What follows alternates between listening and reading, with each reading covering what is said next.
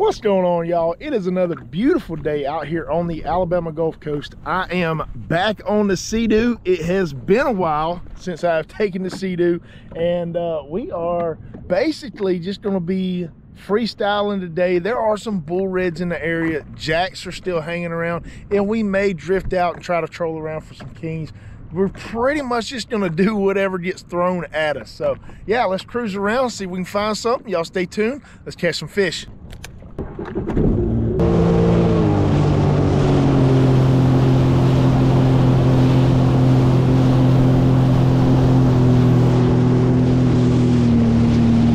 some birds diving right here, y'all.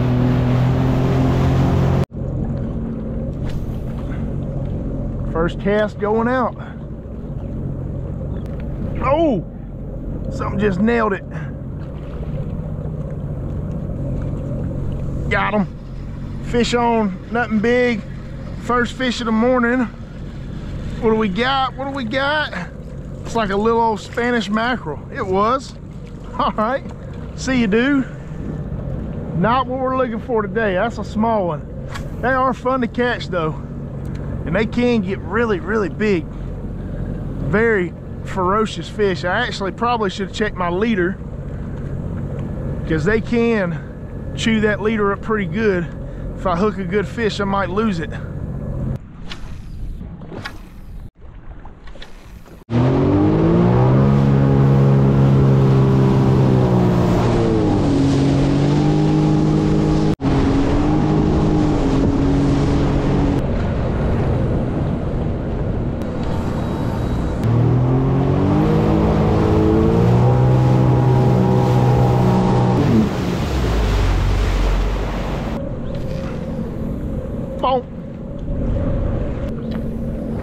Y'all, we just rolled over a loaded reef right here, about 25 miles from where we launched this morning.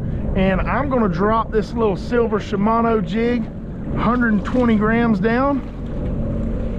And uh, see if we can get something to bite it.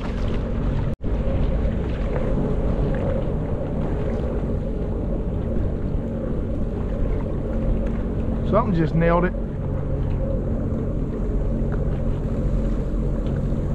Got him. Fish on. First fish on the jig. See if we can get him up. What do we got? All right. Little old red snapper on the Shimano jig. All right, there he goes. I would not mind catching a couple of bigger snapper just like that. They're not in season right now, but they are a ton of fun to catch. Up and back down. Come on, big one.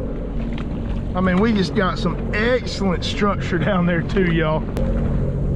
There he is. Fish number two on the jig. What do we got? What do we got? Trigger fish, baby. Species number three on the day. we ain't catching big fish, but we catching different species for sure. All right, buddy. Hooked them up under the chin. So these are some of the coolest fish out here. Y'all have not seen their teeth, look at those jokers right there. They will absolutely take a finger off if they get a hold of you. But if y'all don't know, the reason they call these a trigger fish is because you got this fin right here. No matter how hard I push, I'm not gonna be able to get that fin to go down unless I push the trigger, which is right here. If I push that trigger, that fin goes down. So this is a gray trigger fish. They gotta be 15 inches to the fork to keep. This guy's going back. Bye-bye. Come on, let's see if we can get one on a third drop. Got him. There we go. There we go. That one might be a little bit better. That one's got a little bit of weight to it. I don't know how much more. What do we got? What do we got? Oh, that's why I hooked him in the head. I was pulling him up sideways. I knew it wasn't gonna be anything giant, but it was pulling a little bit harder. And that's because I hooked that dude in the side of the face. Sorry about that, buddy. Get that out for you. Bye-bye. It has been non-stop with this jig. I just have not been able to find any size to the fish that we're hooking. I mean, and where we're dropping, there's just massive schools of bait, as you can see, raised up off of that reef. And I know those fish underneath have got to be in a frenzy. Just dropping that jig right through that bait, hoping for it to get bit.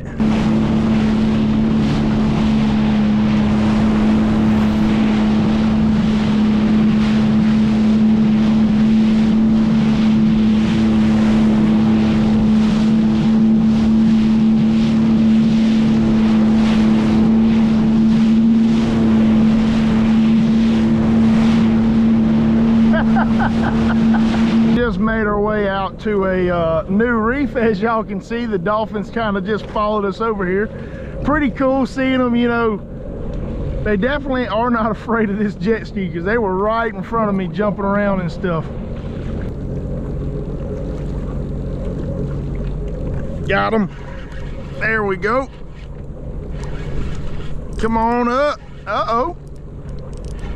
That's a better fish it's crazy. He's not really pulling down. He just got a little bit of weight to him. That's why, because we hooked a trigger fish in the back.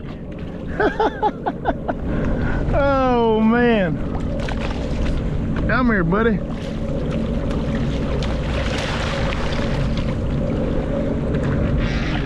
Buddy, I did not mean to do that to you, my friend. Let's see you. Got him. There we go. Come on. Oh, that might be a good trigger. I would love to get a good trigger today. That's pumping like a trigger. Come on. Come on. Trigger is open. So we can keep one. It is a trigger. I hooked him in the tail. oh man, if you can't hook him in the mouth, hook him in the tail. Good gracious, y'all. All right, I'm gonna swap out this jig right here for a little bit more of a flat fall jig. Also Shimano, and this is an 80 gram jig. So going a little bit lighter.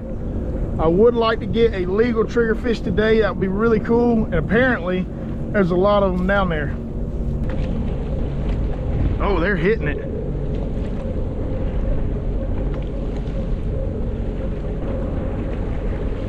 Got him. There we go. Come here. Come here. That's a better fish. There we go.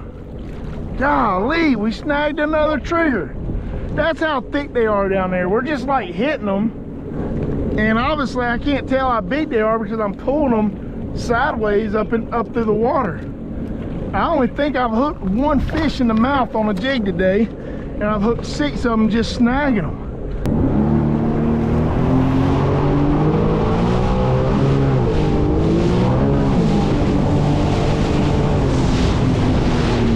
Alright y'all, well it got a little bit rough on us as y'all can see right here. We're back in here at the beach and it's pretty strong west wind, about 20 miles per hour or so. But check it out. There's a couple of things I just want to kind of talk about. I've had a lot of people uh, asking questions about this Sea-Doo and stuff. Uh, so I'm going to touch on a lot of those questions here in a minute. Uh, but today's trip, uh, we went out, that's probably the furthest offshore that I have been in this Sea-Doo, uh, which was 32 miles from where we launched this morning. So not exactly 32 miles straight offshore, but it was probably 15 miles offshore 31 miles from where we launched today. Um, went out there. well, we started the day off trying to find some redfish, stuff like that. They've been breaking out here on the beach. Really didn't find anything. We trolled a little bit, hit some rigs. Nothing was really working out, so we decided to push out to some reefs that we have never been to before and uh, caught several uh, caught several fish, several different species of fish and I only caught one of them inside the mouth. Really, really crazy. The rest I snagged, so never expected to catch those fish that way. Um, and even though we didn't catch any giants, we don't have nothing in the cooler, it was still a good fun day out on the water um, and i get a lot of people that comment that say you know things like wow y'all went 31 miles offshore to catch things like that and well i didn't go out there to catch those fish that's just what happened to be out there you never really know what you're going to get onto. Um, we saw a big mahi sky off in the distance. You know, there's mahi, there's king, there's cobia, there's all sorts of stuff. Giant snapper, amberjack, beeliners, you name it. So it's a lot of stuff out there. Um, but that is that's the reason why I bought a jet ski is this thing right here is extremely versatile. You know uh, a lot of people look at this as being just a really really small platform. A lot of people don't feel comfortable going out there in them um, but i mean this thing handles the waves really really good. I mean we it, it got sporty out there. We're right here next to the beach and we got strong winds coming in white caps and we were cutting up 30 mile an hour eating it heading back in uh, the thing about being in a Sea-Doo is that you're not really taking on water. So if I was in a boat and I got waves coming in over the bow, my boat's taking on water, maybe more water uh, than my bilge pumps can get rid of, then we start to have that problem, right? Well, in this Sea-Doo, it's not, you know, I'm not taking on water, anything like that. Um, so I'm really able to, to cut into those waves. Uh, and if we do get in a situation to where we capsize, all we do is get in the water, well, we'll probably already be in the water. We flip it back over, hop back on, crank it up, and we continue the mission, right? Um, there are uh, a lot of try to put it into perspective. So like you got these big surfing events, right? That happen um, all over the world where these major swells are going on and you got these surfers that are riding these waves and stuff. They don't put boats out there to uh, run in there and rescue those surfers when they fall off their board or get in danger or anything like that. You got people that are on Sea-Doos riding those waves, launching through them um, because they're safer uh, in, in, those types of environment and they're the best machines for the job. I'm just trying to put it into perspective because you get a lot of people that think going offshore in Sea-Doos are, are dangerous. Um, and, you know, certainly I feel like that is also uh, up to the person behind the wheel, right? Um, there, there are a lot of things that we do safety-wise uh, like I got my buddy out here, Kyle Moffett. He went offshore with me today. I will never push offshore in this Sea-Doo by myself. Either I'll have another jet ski uh, with me or I'll have another boat out there with me, but I'll never come out here alone. The same way when I'm out offshore kayak fishing, I don't kayak fish offshore alone. It's just not smart.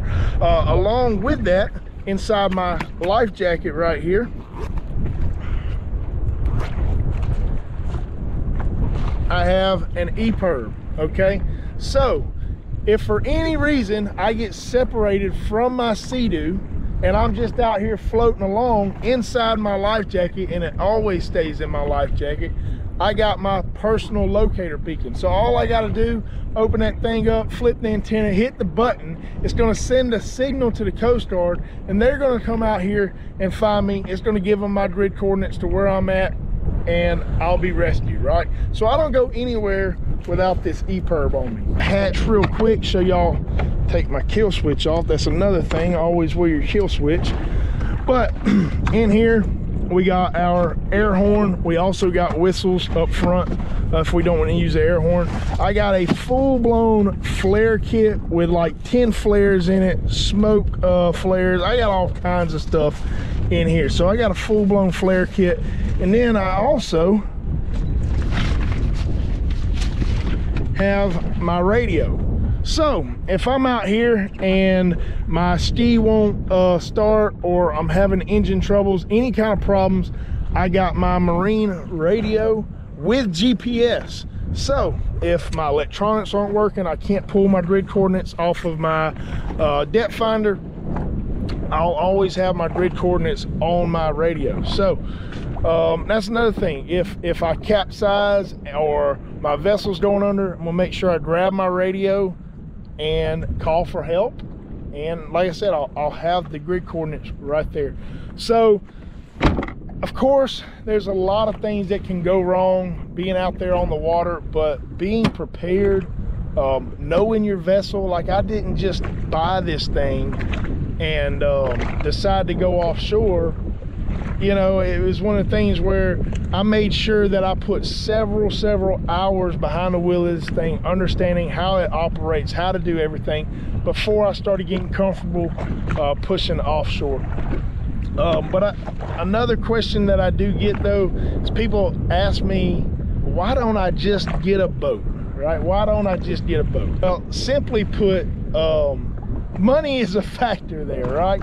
So I bought this Sea-Doo right here for $14,000. This vessel that I'm on, I bought it used. It's a 2020 Sea-Doo Fish Pro and I paid $14,000 for it, right?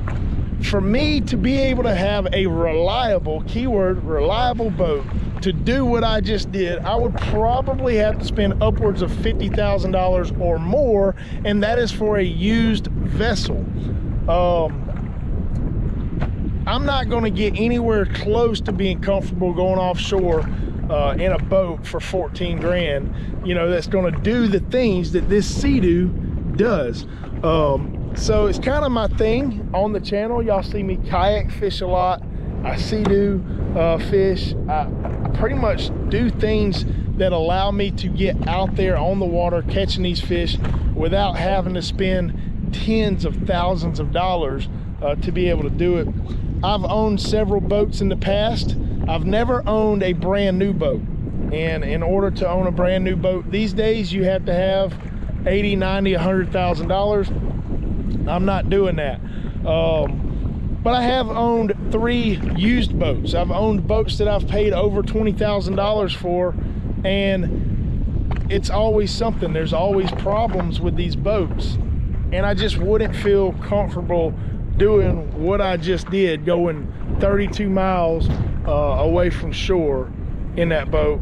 And then a couple more factors. Um, I get great gas mileage, great gas mileage on this thing. $50 fills my tank up from empty and I can run, I got about 70 miles of range on this Sea-Doo. So anyways, that pretty much concludes today's video. I hope y'all did enjoy it. Uh, and yeah, we'll see y'all next time. Uh, if y'all like the Sea-Doo content, leave a comment, let me know, like the video, subscribe if you haven't already. We'll see y'all next time.